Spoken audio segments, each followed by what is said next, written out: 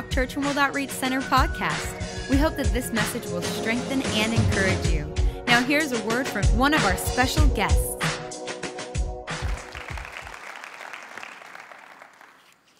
Con- creating the conditions for a miracle. And with this teaching tonight, it's going to be a teaching where we're going to believe God for some miracles here tonight. Amen.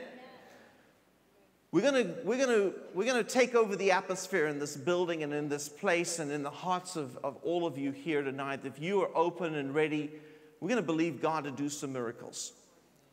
But at the same time, I want you to take some notes of what I share tonight because when you are believing God out there in the world and you need a miracle from God, I want you to go through a checklist. Because these four things I'm going to give you are just foundational. You see, some people think that getting a miracle from God is kind of like, you know, going to Vegas and hitting the, the slot machine and just, you know, you just, if you put, pull it in the right time, you know, it's your time and your number comes up and you're going to win the lottery or you're going to hit the jackpot. And people have that mentality that somehow there's sort of a random thing that God, you know, sometimes just chooses to do a miracle. It's sort of a random act of God. But you know, there are people that live in the miraculous. There are people that see miracles every day. And I believe that if you create the right conditions for a miracle, that God has a much easier time getting that miracle into your life. So I'm just going to give you these four things, and two of them were actually covered by Pastor Jim last Sunday, were, were touched on uh, in his message, because the very first one is what I would call expectancy. I'm expecting a miracle. Now I'm going to differentiate because most of what Pastor talked about was hope. There is a difference in definition between expectancy and hope. Hope is that you expect God will do something, and that's important. But expectancy is a state of disposition. It's a state where you are expecting it to happen any moment. You are in a ready state, in a ready condition, and there is a sense of expectancy that it could happen at any moment. And the Bible says we need to have an expectancy. When we're believing God for a miracle, you know, there's a story in the Bible about um, Martha and Mary when Jesus raised Lazarus from the dead, and Jesus came into Judea. And the two sisters of Lazarus, whose brother had died, and they came running to Jesus, and, and, and Martha came to Jesus and said these words, said, You know, Jesus, if you had been here, my, my brother would not have died. You see, she had faith that if Jesus had been there before when he was alive, that, the, that, they, you know, that her brother would not have had to die. He would have been healed before. She had faith for the past. Then Jesus said, Your brother will rise again.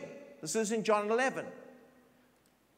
Now, she said, Yes, Lord, I know he'll rise at the last day. She had faith for the future.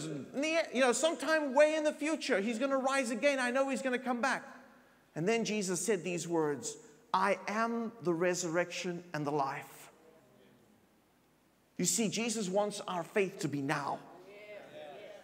You can have faith for the past if he had only been here, or you have faith for the future. Well, in the last day, everything's going to be great. But Jesus says, I am the resurrection and the life. I want you to believe and expect a miracle now. Amen?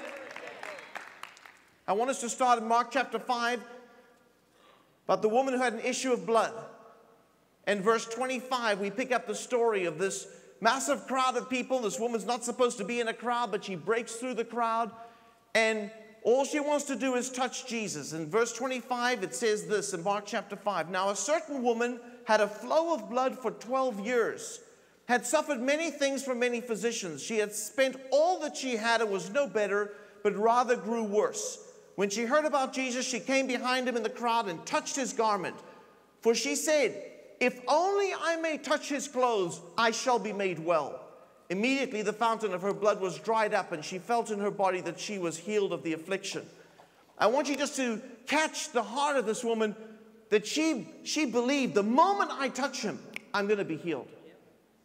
There was an incredible expectancy of a miracle that she said that that point of contact, that point of that moment I touch him. We need to have that. If you want to receive a miracle from God, you need to expect it.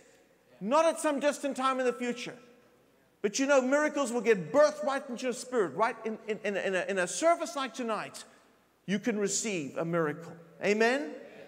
Mark chapter 10, a few chapters later, there's a man by the name of blind Bartimaeus, and Bartimaeus is totally blind. This is a fascinating story. In Mark chapter 10, verse 46, it says, Now they came to Jericho. As he went out of Jericho with his disciples and a great multitude, blind Bartimaeus, the son of Timaeus, sat by the road begging. And when he heard that it was Jesus of Nazareth, he began to cry out and say, Jesus, son of David, have mercy on me. Then many warned him to be quiet, but he cried out the more, Son of David, have mercy on me. So Jesus stood still and commanded him to be called. Then they called the blind man, saying to him, Be of good cheer, rise, he is calling you. And throwing aside his garment, he rose and came to Jesus. So Jesus answered and said to him, What do you want me to do for you? Now, isn't that a strange question? The guy's blind. He's crying, Son of David, have mercy on me. But you know what? Sometimes Jesus wants you to articulate your faith. And you know, he could have said, Well, Jesus, I just want a nice new cane that I can just find my way around. Or, Lord, I would just love to have a guide dog to carry me along, to lead me. Or a person who would be my friend who would come and, and, and guide me through my life. You see, God's going to ask you, What are you believing me for? What is your faith being put out for? And you may think that everybody, you know, is expecting for a miracle. But you know what? Some people, you know, their faith's just not there. I had a friend in high school, and, and he was my, one of my closest friends. His name was Peter Filmer. You know, we, we were, were graduating high school. I actually did an extra year, and he had gone on and he was you know, getting ready that he had to go to the military. We had mandatory conscription in South Africa where I grew up. And the reason I left South Africa was I, I would not go and fight for the apartheid system.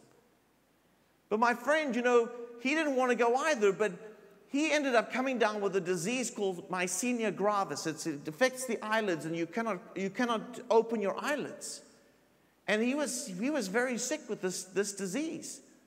And at that time, I was just growing in my faith, and I heard that there was a family that, that were used by God in miracles and healing.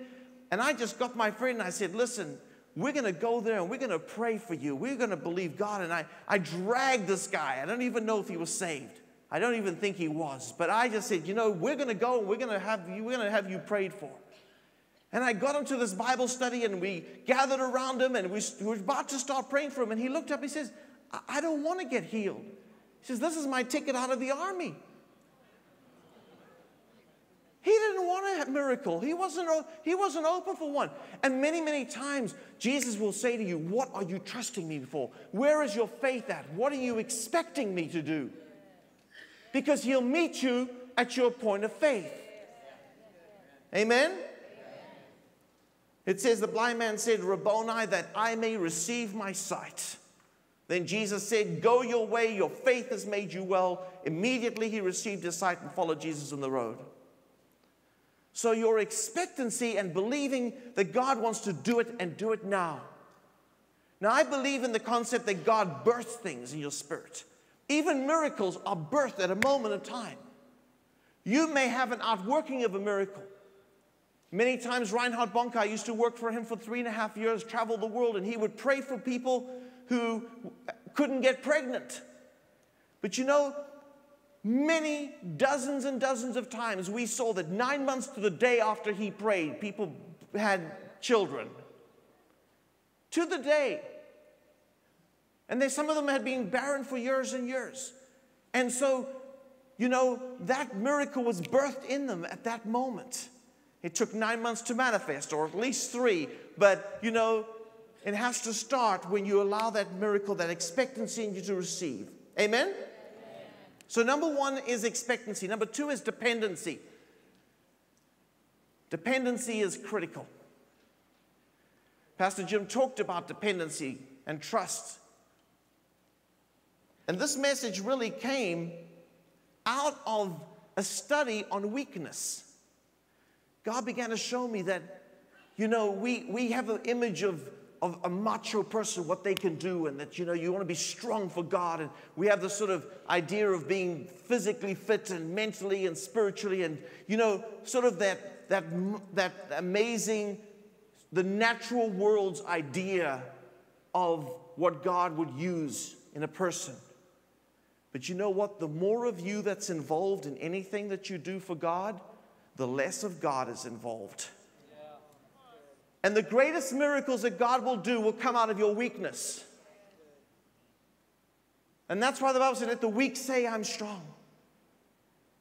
And this scripture that, that, that, that the Apostle Paul wrote about weakness, and I want to read it to you. And when I talk about weakness, I'm talking about a total dependency because you either are self sufficient or you are God dependent.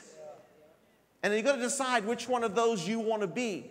And sometimes we like to be self sufficient because, you know, it feels like we're in control. But when you're totally God dependent, that's when God can really move. In 2 Corinthians chapter 12, we'll put it up on the screens. The Apostle Paul is actually having a messenger of Satan buffeting him. The Bible says it was, it was the enemy, and it was because of all the revelations that he had. And this is what it says. And, and he, he, he asked the Lord a number of times. And it says that God responded this. He said, God, please take this away. Take this buffeting, this, this messenger of Satan buffeting me. In verse 9, it says, And he, God, said to me, my grace is sufficient for you, for my strength is made perfect in weakness. Therefore, most gladly I will rather boast in my infirmities, that the power of Christ may rest upon me. Therefore, I take pleasure in infirmities, in reproaches, in needs, in persecutions, in distresses, for Christ's sake. For when I am weak, then I am strong. Now, this is a really difficult concept to grasp. But I often say to Pastor Jim, if you're praying to God to do something, if there's a thousand ways you can think of way that God should answer it, God will choose the thousand and one way that you didn't think. So I just try not to think too many because I want to give him lots of options. Amen? Because whenever we try and figure God out, or whenever we try and say, God, you should do it like this, you should answer it like that, or this is what I want, and this is how I want you to do it, He doesn't get much glory when you try and manipulate the system. When Gideon was going with a huge army to go and fight the enemy, God said, There's too many people. And what do you mean? He says, God, they got that many, and I've only got this many. He said, Cut it down. He cut it down to 10,000 people. God said, Too many. He ended up with 300 against tens of thousands of, uh, of the enemy. And God said, Okay, now 300, that's good. Now you can go. You know, because God knew if it was any more, man would try and take the glory. Let me tell you, out of weakness, there's strength. When you're at the place where you're at your end, that's a good place. That's when you turn it over to God. That's when you say, God, I can't do it alone. I need your help. That dependency upon God is so critical. And whatever you do, make sure you don't get in God's way and you don't try and take some of His glory and you don't take, take some of the credit because when you're in a place of total dependency upon Him, that's when you're strong. That's when God's power can rest upon you. That's when God's anointing can flow through you.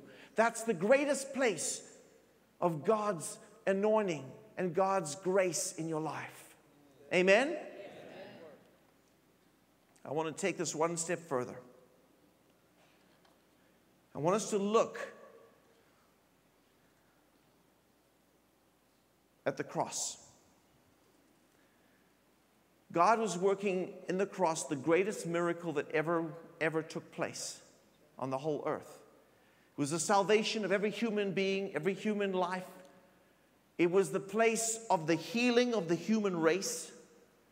It was the place where God had to manifest the greatest miracle that was ever, ever performed on the earth. It was the salvation of the whole planet. But in order to manifest that miracle in Jesus, God had to bring Jesus to the place of greatest weakness, place of greatest shame, place of greatest humility, and the place of, of greatest pain. And only in that place, and I want you to imagine that after the, the, the, beating across his back with hundreds of whips that, that, that lacerated his back, many of us saw the Passion of the Christ, and how they made him carry his cross up to Golgotha. Simon of Cyrene helped him as he got to the end of that because he couldn't have enough strength to even make it. And they had mocked him and ripped his beard. They had taken a crown of thorns and they had beaten it with rods into his head. An entire garrison had abused him and had, had just beat him until he was almost unconscious. And then they dragged him up Golgotha. And they took his hands and his feet and they, they put him in a position where he cannot move, where he can hardly breathe. And they nailed his hands and his feet, stripped him naked, threw lots for his clothing. And they lifted him up between heaven and earth and dropped him into the ground. His bones sticking out and just, you know, absolutely a, a, a, a beaten, bloody mess hanging there on the cross between heaven and earth. And I want us to look into the mind of Jesus because we all know of Psalm 23, which is the Lord is my shepherd, but many of us don't know Psalm 22, written a thousand years before Jesus went through the cross. And it's a soliloquy of what Jesus was going through his mind as he hung there. We're going to pick it up on, on verse 1, which is the last words of Jesus on the cross, one of the last seven words. He, Jesus says, My God, my God, why have you forsaken me? And now we're going to get it, and you're going to see as we read this that there's no question this was him looking down at the cross, and this is what's going through his heart. That's exactly what is going through his mind prophetically of what Jesus encountered. And I want you to look for the word trust. I want you to look for the word dependence, the dependency that Jesus had on the Father. As God is working the greatest miracle in the universe, Jesus is at the place of greatest dependency, of greatest weakness. And this is what it says My God, my God, why have you forsaken me? Why are you so far from helping me? From the words of my groaning. In verse 4, our fathers trusted in you they trusted and you delivered them. They cried to you and they were delivered. They trusted in you and they were not ashamed. He's going back to the history of his nation. And then verse 7 All those who see me ridicule me. They shoot out the lip, they shake their head, saying, He trusted in the Lord. Let him, God, rescue him. Let God deliver him, since he delights in him. But you are he who took me out of the womb. You made me trust while I was on my mother's breast. I was cast upon you from birth, and from my mother's womb you have been my God. Now listen to these words I'm poured out like water in verse 14. And all my bones are out of joint. My heart is like wax, it is melted within me. My strength is dried up like a potsherd, and my tongue clings to my jaws, and you have brought me to the dust of death. Dogs have surrounded me. The congregation of the wicked has enclosed me. They pierce my hands and my feet. I can count all my bones. They look and stare at me. They divide my garments among them, and for my clothing they cast lots. But you, O Lord, do not be far from me. O my strength, hasten to help me and deliver me from the sword. In verse 21, you've answered me all the ends of the earth of the world shall remember and turn to the Lord, and all the families of the nations, including those in San Bernardino, shall worship before you. For the kingdom is the Lord's, and he rules over the nations. Amen. Amen. You often think you've got to be, you know, you think Jesus would ride it on his horse with a great miracle. The greatest miracle was at the place of greatest dependency the place of greatest weakness. And when you are weak and you are strong, when you are totally dependent upon God, when you've reached the end of your bank account, that's when God can manifest His power. When you've reached the end of your strength and you, the doctors have reached the end of their rope, then that's when God can come through and that's when God can heal you and that's when God can show His power. When everybody else can says no, God says yes. That's what you have to believe. Don't be worried that you're at the end. In your weakness, you are strong. Your dependency upon God, you expect Him and you depend upon Him. You're creating the conditions for a miracle. Are you with me, church? Number three is what I call occupancy. Occupancy is an interesting concept because it's, when I talk about occupancy, I'm talking about who's occupying, who's occupying the atmosphere, who's occupying the environment, who's, what is occupying the environment. Many years ago, a, a couple came from the East Coast and they actually, we got to meet with Pastor Jim and, and, and a number of other people, and we, we you know, we had some days with these people together, and, and this, the wife said something which has stuck with me ever since. She was speaking about the creation of the earth, that when God made, you know, the earth, He spent six days creating environment. And then on the, no, five days creating the environment, on the sixth day, He put man into the environment. You see, God creates environment and then he puts man into the environment, and into that environment, then man can flourish. If you work on creating an environment of, of the atmosphere of God, then God can work miracles in that environment. So it's important that we dominate the environment. Now, I'm just going to start with just giving you two quick examples here. Number one, we come in here and praise and worship. The reason we come into the presence of God, the reason why you can receive a miracle more where you are right now in church is because we have ushered in His presence. The Bible says God inhabits the praises of His people. And when we are worshiping, at the end of worship, it's sometimes you just want to linger there because you can just feel the presence. You can feel the atmosphere of heaven. You can feel God. It's an intangible. You can't just, you can't, you know, easily, you know, define it. But it's there. And those who, who come and they just sense that presence, they just want, just, just keep playing that, that, that, that, you know, instrument just a little longer. I just want to just drink in. I can feel the presence of God.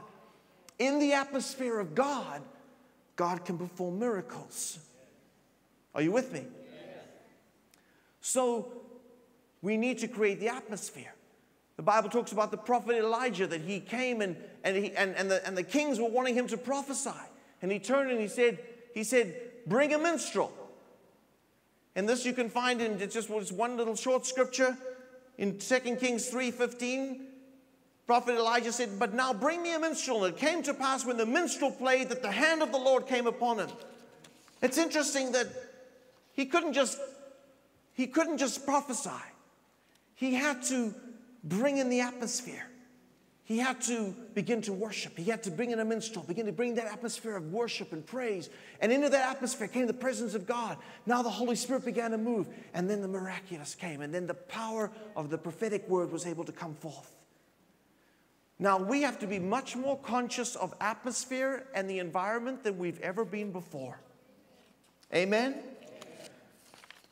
We need to create an environment of praise and worship. Sometimes you just need to put music on in your home. You just need to you know, instead of listening to whatever news station or whatever sports station or whatever, you need to just, you know, fill the atmosphere with worship, with praise, with the Word of God. Are you with me? So, an atmosphere of praise and worship is one. An atmosphere of faith is number two. And I'm not going to give you all of the ones I have, but I'm just going to give you a handful. It's interesting in this first story we read about the woman with the issue of blood that came Jesus who actually was healed. This woman touched her and she was healed. He didn't even try and do that. She's the one who pulled that miracle out of him. Jesus turned around and said, Who touched me?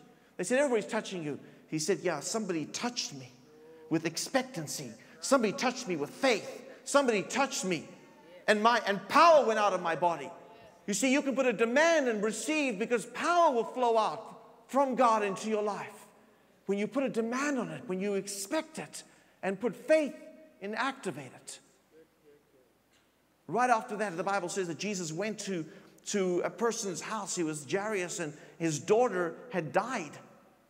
They didn't know at that time. They actually came running and said, No, don't come, Jesus. You know, the daughter's dead. Forget about it. You know, it's too late, you know. And Jesus, the Bible says, I want you just to, to, to just look at the scripture.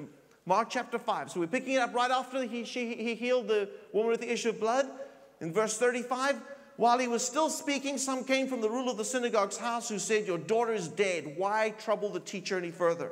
As soon as Jesus heard the word that was spoken, he said to the ruler of the synagogue, Do not be afraid, only believe. He permitted no one to follow him except Peter, James, and John, the brother of James. Then he came to the house of the ruler of the synagogue and saw a tumult and those who wept and wailed loudly. When he came in, he said to them, Why make this commotion and weep? The child is not dead but sleeping. But they ridiculed him and they ridiculed him. But when he had put them all outside, he took the father and the mother of the child and those who were with him and entered where the child was lying. He took the child by the hand and said to her, Talitha cumi, which is translated, Little girl, I say to you, arise. Immediately the girl arose and walked, for she was 12 years of age. Now, it's interesting. Immediately that that word, that bad news came, Jesus said, Don't only believe. He immediately spoke that word of faith. Immediately said, Don't listen to that. Don't listen to that report. Only believe. Amen. And then the Bible says he didn't take all of his disciples. He chose three that he knew were in faith with him. He put everybody else, says, You stay behind, we're going together. When he got there, they're all wailing and weeping. He spoke the word of faith. They all ridiculed him. He didn't care. And then the Bible says he cleared the atmosphere, he cleared the room. Took the father and mother and the three disciples, he took everybody else and he put them out. You don't want anybody to contaminate the atmosphere. Amen? And then he spoke the word of faith, and the miracle happened. You've got to protect the atmosphere of faith. Don't let the, don't let people who, who don't believe and just when those things happen, you say, listen, please, you know, I'm going to believe what God says, and I'm going to, and you can't always be perfect this, but let me tell you, Jesus himself had people speak things, and he just continued to speak back what God says. Amen? So let's control the environment of faith an environment of praise and worship, an environment of faith. I'm just going to give you a few other ones. An environment of gratitude. We have seven prayer meetings in our office a week. Every single morning from 8:30 to 9, and then from 4:30 to 5 on Tuesdays and Thursdays in the afternoon. We, we, we gather, and the first thing we do is pray. It's not just about us, you know, I pay my people to pray. Some of you who, you know, would love your bosses to pay, pay for you to pray. I tell my guys, you're on the clock. I am paying you now to engage God. And the reason I have those seven prayer meetings a week, and the reason why the beginning of every day, half an hour, is spent in prayer, is I'm interested in the atmosphere of my office.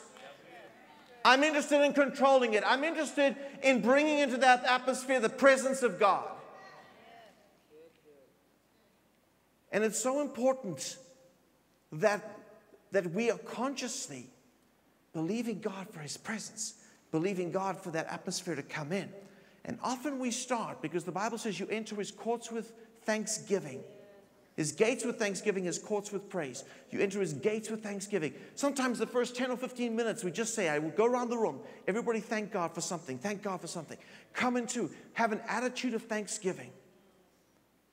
Lisa told me the story about Corrie ten Boom, about how she was interned in a, in, a, in a German concentration camp during the Second World War.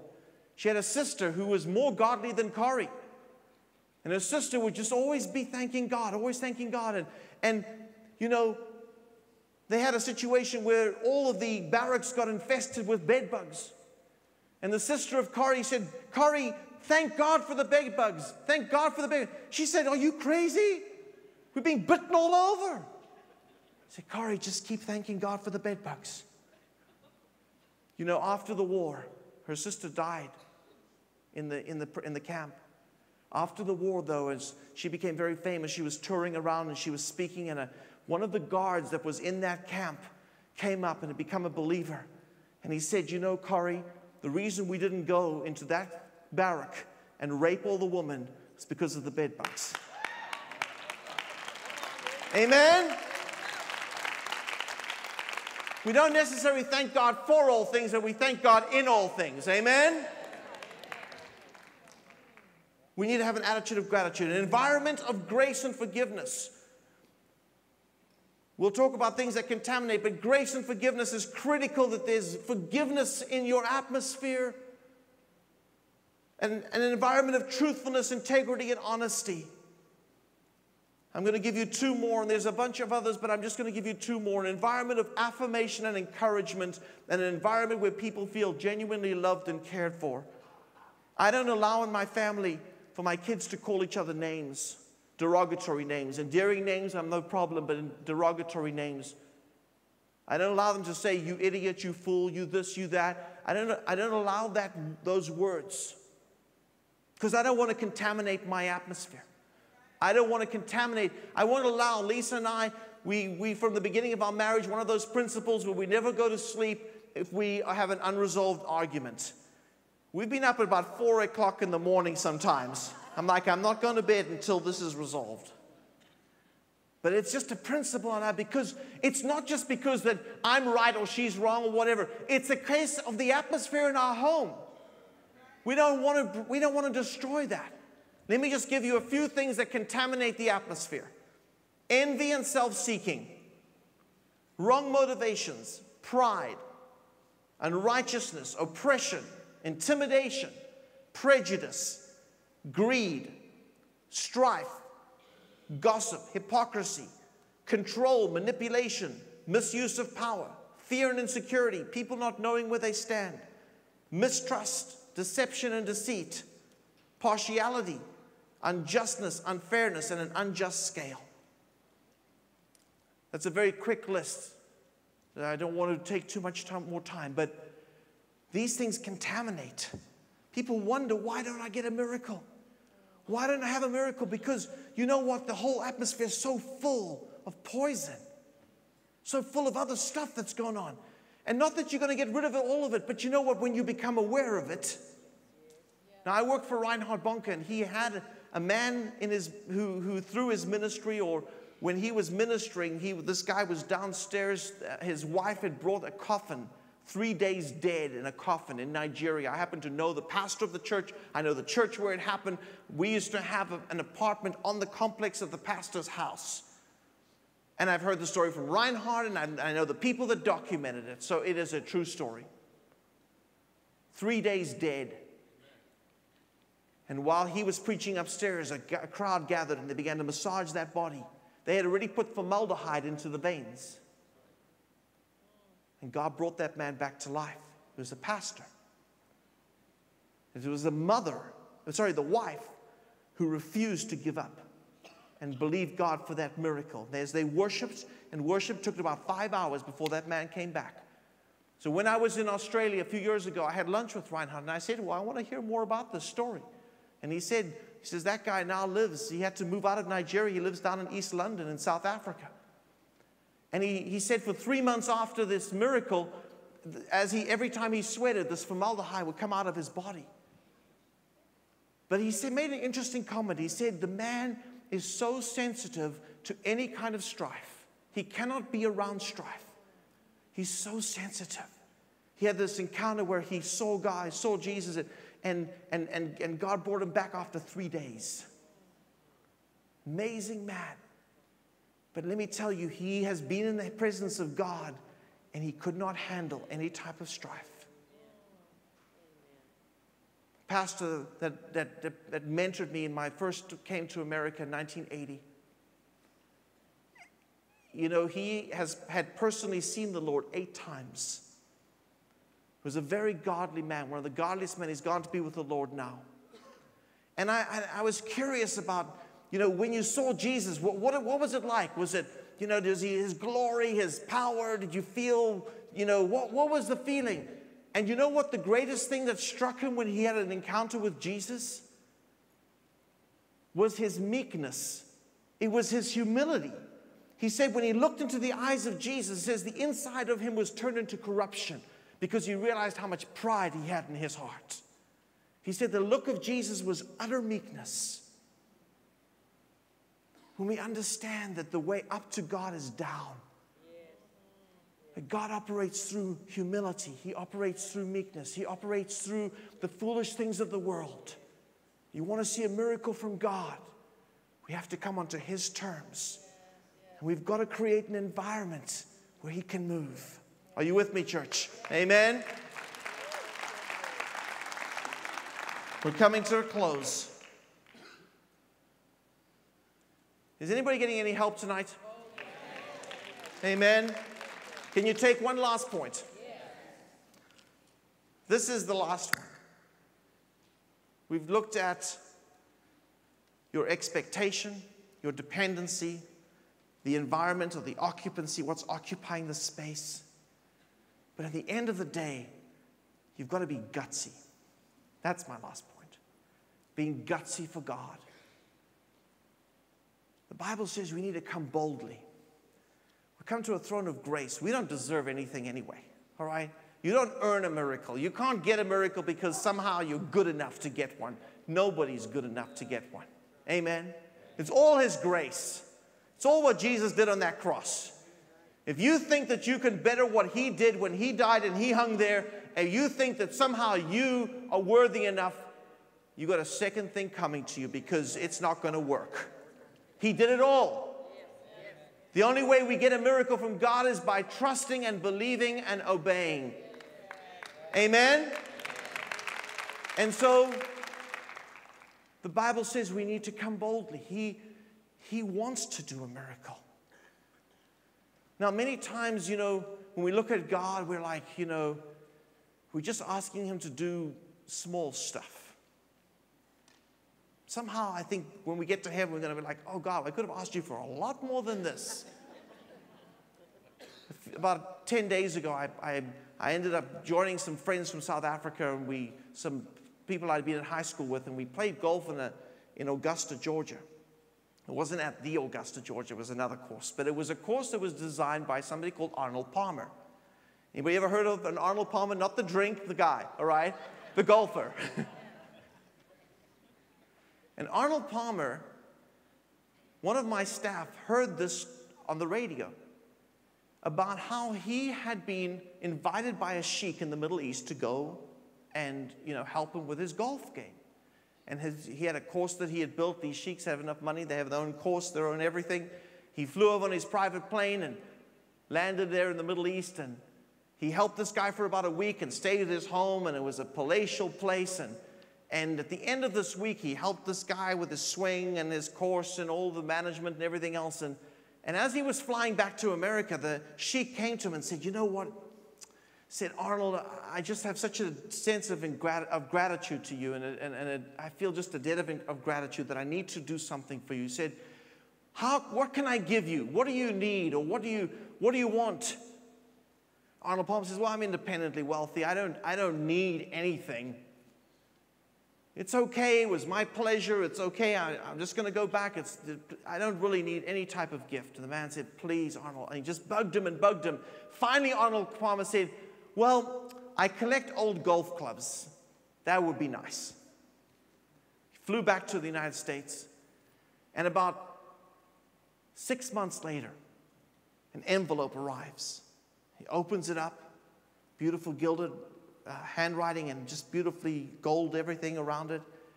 And the letter says the following words says, it took it was very difficult to find this, but enclosed is the title deed to an old golf club in Scotland. He bought the whole club. Arnold Palmer was just thinking about the club, he bought the whole club.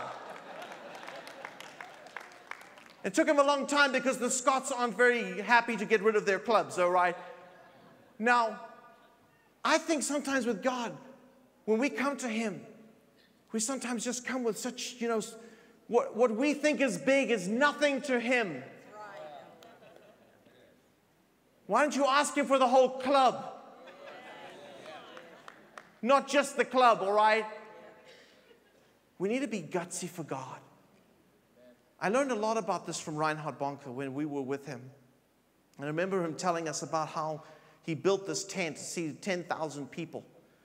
And, and this, he put up this, this tent. He used to travel around and do these crusades, and people would come and get saved. And at the end of this, um, you know, this crusade, in fact, he had just maybe one last meeting left to go.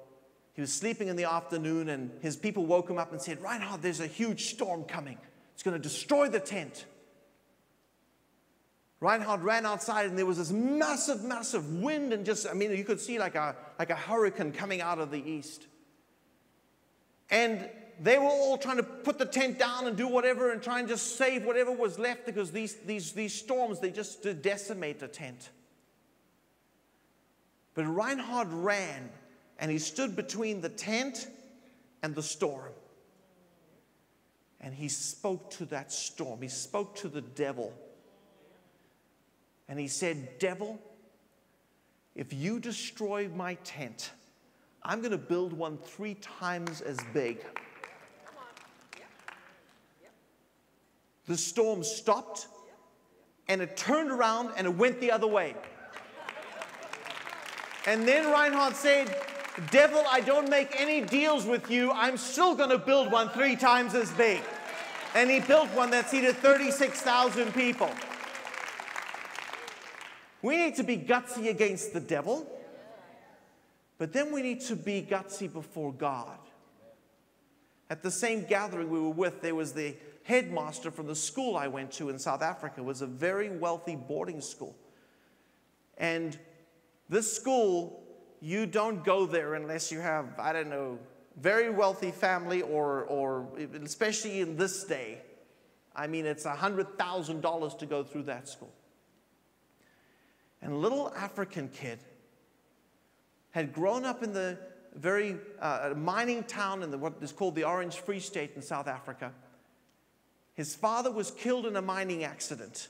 His mother left him to go and work in the city sending money back to him until he was nine years old. He was raised by his grandparents. And this little kid, finally, when he was nine, his grandparents said, Look, we're getting old. We, we, can't do, we can't take this anymore. You need to go to your mother. And they sent him to the mother in the city. And she had a little tiny apartment. And she couldn't afford to send him even to a primary school. He was nine years old. Well, the mother took out an ad in the newspaper saying, Will anybody scholarship my child? And miraculously, somebody said, We'll take that kid. And they put him through his preparatory school, his elementary school.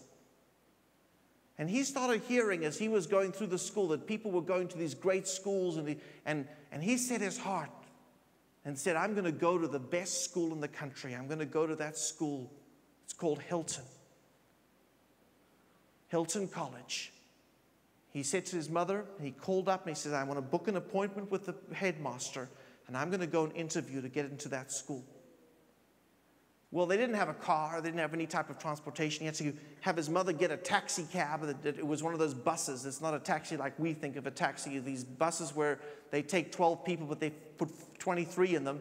And they went down to the local, nearest city, and then he got an uncle to drive him to the car that barely made it into the school.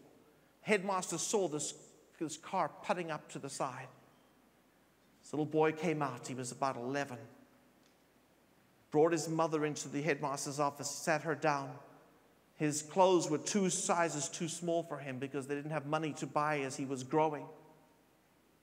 And he introduced his mother and said to the headmaster, he said, This is my mother. She's the most wonderful mother in the whole world.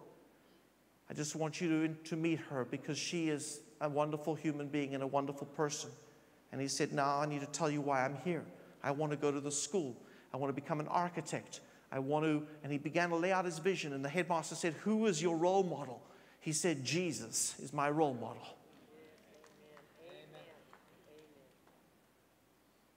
And he was so gutsy. And the headmaster said, Well, how are you going to get money? He says, Well, I'm entering a competition on, on uh, um, you know, it's a reading competition. I'm reading every single book. It was a Charles Dickens uh, uh, type of uh, some book, some major author. And he had read every one of the books that this man had written, and he, there was a competition. He was going to earn money. But he, whatever he was, he was setting his faith. He was believing. He was asking. He left that place, and the headmaster just was shocked. He wrote a little newsletter the next day. He sent it out to all of the, all the people in, in, in the community. And in two days, somebody came forward and said, We will pay that, that kid's entire scholarship for him to go to that school. Amen? But you know, I was challenged. I thought, here's a kid who has nothing and is willing to, to go right to the headmaster of a top school with no money, no nothing in his bank account, and he's there and he's there and he's asking, how much more can we come before the throne of grace? How much more can we ask for a miracle? How much more can we ask God to do something in our lives? Amen. Well, we're closing up here. We're going to pray together for God to do miracles here tonight. And I want us all just to stand in the presence of God. I want you to come expecting. I want you to believe God to do something here tonight in your life. God brought you here for a purpose. God brought you for a reason tonight. You're the hungry ones. You're the ones who gave up Sunday night football. You're the ones who gave up a lot of other things because you decided that it was more important for you to be in the house of God, for you to be in the atmosphere of the God's presence for God to move in our midst. And I just felt tonight that God's going to heal somebody here tonight from breast cancer. I don't know, it may be more than one. I want you to, to put your faith into action and believe God to do something like that tonight. And to touch you and heal you because His presence is here. You see, the miracle gets incubated in your spirit, but before before we pray for a miracle, I want to pray for the greatest miracle. I want to ask that make sure that everybody's okay here tonight. That you, if you're not right with God and you know it tonight, I want to pray for you. Before we believe God for a miracle, I want to pray for the greatest miracle. I want you to be forgiven of your sins and what Jesus did on that cross to be applied to your life, that you have salvation, eternal life. You can know tonight that you will make heaven if you were to die. You can know without a, without a doubt, with total surety, tonight, God can manifest that. There's some of you tonight that need to get saved. I asked Pastor Dan to send me this testimony. I can't get away from it. It was somebody who came in, and I know that some of you have heard this, but it's important that you hear it again. Because a gang member came into this church had an opportunity to accept Jesus, had an opportunity to give his heart and get saved. And this is what he wrote to the church Dear Rock, my name is Justin. I once went to your church. I sat in the back rows with the woman I loved, and she begged me to go up and get saved. I didn't. I felt it wasn't right at the time. And a week later, I ended up killing somebody. And I got into a shootout with the police. Her biggest fear was that I would go to hell since I didn't get saved. I regret not getting saved that day. I regret being worried about what others would think of me walking down there in front of them. But now all I can think of is how life would have been different had I gotten saved, had I listened to the call and to the Lord and to the woman I loved. Now I'm in prisons, in a prison cell doing life. But I'll never forget your church. And the day I turned down God, now I am saved. I dropped out of my gang and I live to make others see what is right by living right. Please pray for me. Just sometimes it's life or death. Your salvation is no small matter to God. And if you've come here tonight and you know you need to get right, if you were to die tonight, would you open up your eyes in heaven or would you open up your eyes in hell? If you're not sure, if you think that by being good or by coming to church you would open up your eyes in heaven, you're wrong. The Bible does not say that. It says only by giving all of your heart and all of your life to Jesus Christ, accepting what He did on that cross that I described to you earlier, only by fully embracing that can you receive life from Jesus Christ and forgiveness for your sins and tonight you can be saved, and tonight you can know that you would make heaven if anything were to happen to you. I'm asking you just to bow your head just for a moment. I'm going to ask, is anybody here that you need to give your life to Jesus Christ tonight? Just raise up your hand if you need to make that decision. I see your hand there, two there. I see there, three there. Anywhere else? I see four, five. Anybody else? I see another hand at the back there. Anybody else that needs to do that? I want you people just without nobody clapping, just, just step out into the aisle. I want to pray for you up front. In fact, we're going to pray first. We're to lead you in salvation. Just step out of the aisle. Just come and meet me up front here. There's a number of you. Just if you could just step out. Do not be like that guy. Do not make that same mistake. Just come forward. We're going to pray for salvation first, and then we're going to believe God for a miracle together. Anybody else? Just come forward. The people who raised their hands and those who didn't, that you know you need to get saved tonight. Please don't turn on the Holy Spirit. Please don't turn on God. He brought you here tonight because He loves you and He wants to forgive you and He wants to apply His blood to your heart. He wants to wash every sin that you've ever done away. Anybody else, just come down and accept Jesus. We're going to pray it all together and then we're going to stand. While you stand here tonight, we're going to believe for everybody for a miracle. Is there anybody else that needs to join them? Greatest decision you ever made in your life. Anybody else? Thank you. Keep coming up. Anybody else needs to join them? Just come forward. God bless you. It's the best thing ever done. We're going to pray all together, everybody together. This is the greatest miracle. All right, this is no other greater miracle than the salvation of a heart, an eternal life that's going to live forever in heaven because of Jesus. I'm going to lead you in a simple prayer. I'm going to give you the words, but you pray this to Jesus. Pray it from your heart. He loves you, He will touch you. He's the one who saves. I don't do the saving, I'm just a messenger.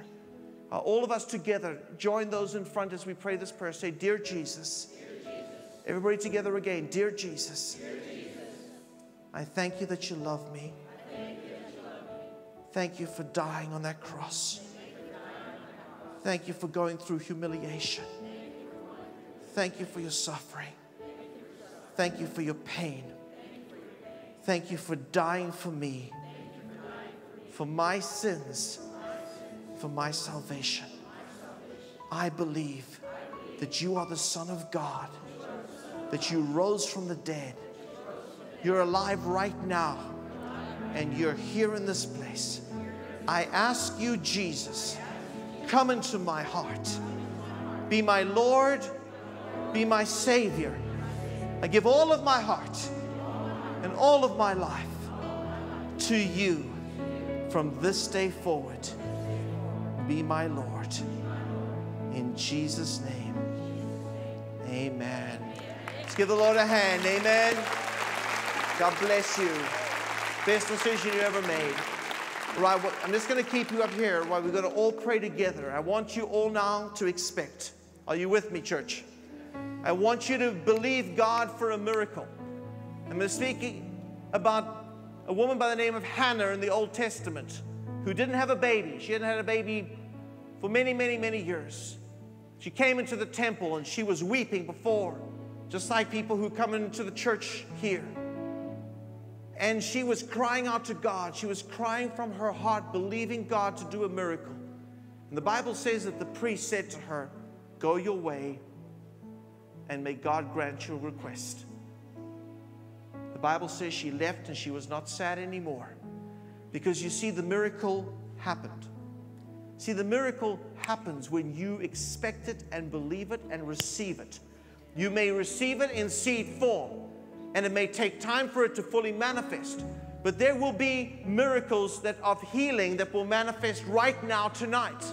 There will be, there will be, I believe, that word of knowledge that I had about a person being healed of breast cancer. I believe God is going to manifest many other miracles of that nature.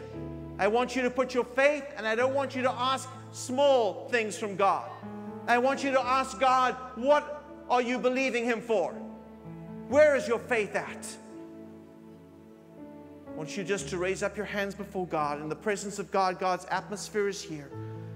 Lord, I thank you. You are the miracle working God. Thank you for your anointing, for your power, Thank you, God, that I proclaimed your word tonight. And Lord, your, uh, your presence is in the atmosphere. In the name of Jesus, we stand against the demonic. We stand against every wicked and evil and demonic power that is trying to uh, impact and affect the lives of your people. In the name of Jesus, we break your power. Every demonic power, go. I loose you from this grip. I command you, demon powers, go now in the name of Jesus. Flee and do not return in the name of Jesus Christ. And Father, we ask you not for small things, I ask you for miracles to manifest in your people tonight. I ask you for your anointing, your power. God, do what only you can do. In the name of Jesus, receive your miracle now. I want you to articulate it to God. I want you to ask Him for it. I want you to believe Him for it. In the name of Jesus, Lord, let your power flow. In the name of Jesus, those who are sick be healed in the name of Jesus. Let the power of God flow into your body. In the name of Jesus, receive healing now. Receive it now. In the name of Jesus, let the power of God touch you. Receive it. I curse you, cancer, in the name of Jesus. I command you to go. I curse you at the root in the name of Jesus. Go from God's people. In the name of Jesus. In the name of Jesus, Lord, I speak to heart disease in the name of Jesus. Be healed right now in the name of Jesus. Lord, let your power just touch your people. Let your presence touch them. I speak to emotional trauma. Be healed in the name of Jesus. Lord, let the power of, of emotional healing flow through your people. Heal the hearts of your people. Heal the broken hearts tonight in the name of Jesus. Let God's healing power touch your hearts. Receive it now. Receive it now. How many of you can feel the presence of God in this place tonight? In the atmosphere of heaven, receive it now. In Jesus' name. Where's Pastor Dave? We have a, on my right over here is Pastor Dave. He's to, we've already prayed. How many of you feel the presence of God inside your heart? How many feel peace and love? Amen.